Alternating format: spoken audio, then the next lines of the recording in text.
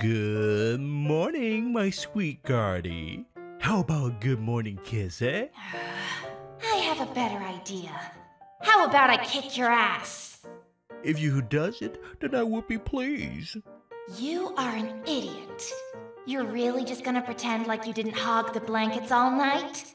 Or maybe you forgot you kept talking in your sleep about your ex Gardevoir. Oh, come on, honey. It was just a nightmare. You know that. How about I get you your blanket and, uh, Yeah, that's what I thought. I'll take pancakes as compensation. Nothing less.